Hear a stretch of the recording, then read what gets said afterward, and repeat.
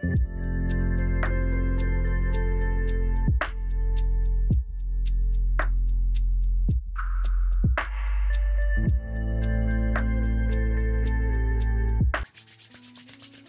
what's going on, y'all, man? It's official Dre live, bro. You feel me? If you read the title, you already know what the video's about. Man, subscribe to the channel if you're new. I was just recording this little quick intro.